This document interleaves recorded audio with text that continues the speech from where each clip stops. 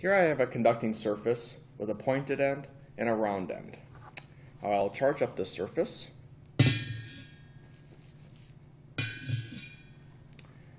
Now, with this conducting surface, I have two electrodes.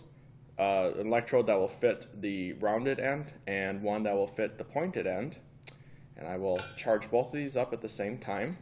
Now both of these have the same surface area.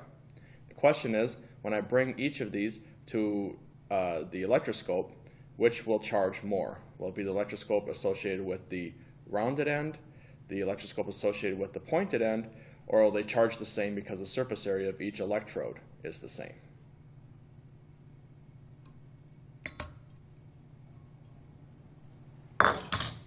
So as you can see, the electroscope associated with the pointed end charged up more than that associated with the rounded end.